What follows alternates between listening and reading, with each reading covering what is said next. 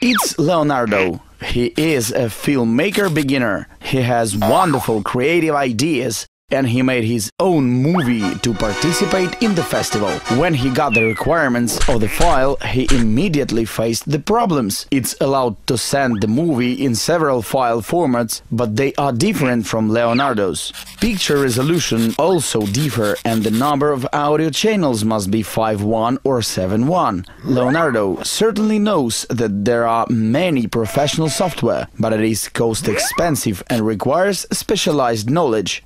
Software doesn't allow to do everything in high quality.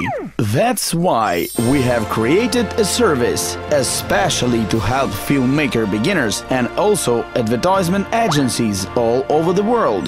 dcinemalab.com We will convert your film into the desired format in accordance with the requirements and deliver finished movie to you by mail or file sharing service. On our website you can always get online consultation free of charge. For more info, please visit our website dcinemalab.com.